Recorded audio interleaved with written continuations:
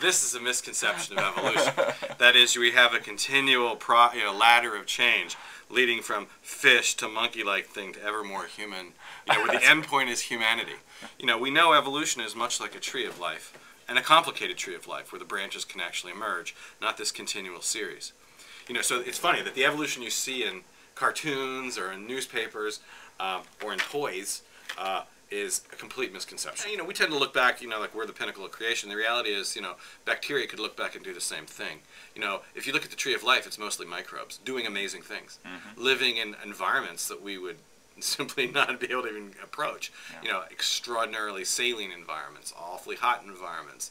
Uh, so if you look at what evolution has accomplished in the last, you know, three and a half or more billion years, it's been remarkable. We're just one twig of that huge tree of life, you know. And it's easy to sort of interpret all evolution as leading to us, when in reality, we're just one small twig.